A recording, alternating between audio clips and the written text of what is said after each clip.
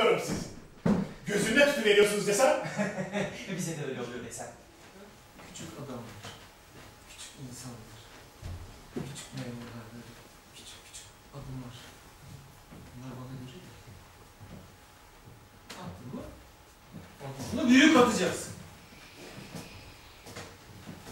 Soğuk damganızın yeri yapmış. Yani bu nüfus cüzdanı geçerli değil. Siz bunu nüfus dairesinden değiştirin. Sonra tekrar çıkartın. Sonra bize gelin. Tamam mı?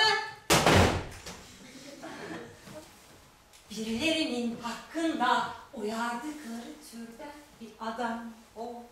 Aman bulaşma yanarsın. Dedikleri bir tür vardır yani. İşte o. O da benim gibi her gün tek başına sokaklarda. Tıpkı kafatasınızın içinde ağrı yapan bir düşünce gibi başlıyor her şey. Sonra giderek beyninizden vücudunuza yayılarak ellerinize kollarınıza saldırıyor. Sonra düşünüyorsunuz neden, neden ben? Tüm bunlara dayanmak neden?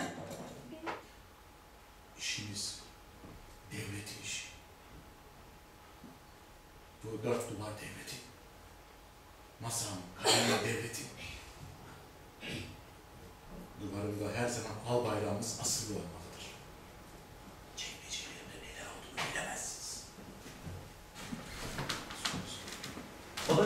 Yeni icatlarını kavuştu acaba? Efendim anlayamadım. Emir rahmetli oldular. Demeye çalışıyorum.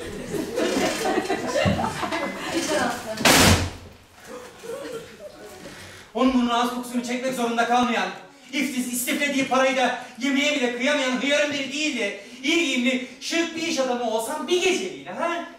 Bir geceliğine. Canım, çok bir şey istedim ya. Bir gecenin lafı mı olur?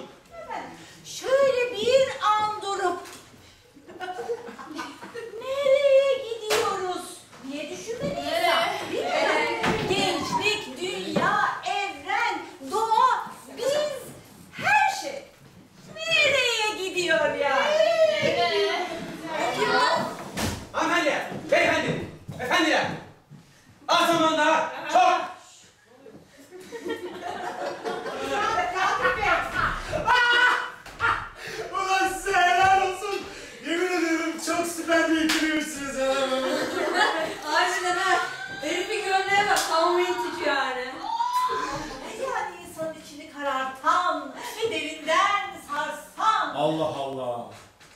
Memlekette neler olmuş da benim haberim olmaz. Bilinir. Belki de en çok soru sormak gereken zaman işte tam bu zaman. Ama ben hiç soru sormam. Hiç meraklı değilimdir, hiç. Çünkü merak edip de sormak şeylerin işi. Aptalların ya da aranan tiplerin. Ne oldu noter bey? Korktunuz mu?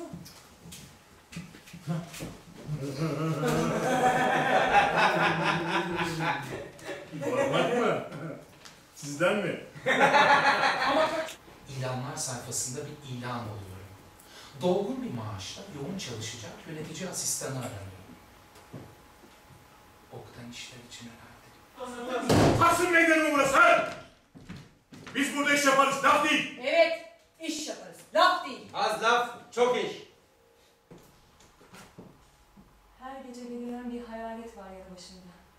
Sallanan sandalyemin yanında beliriyor. Mavi gözlü, şeytan bakışlı bir genç. Bebeğime bakıyorum.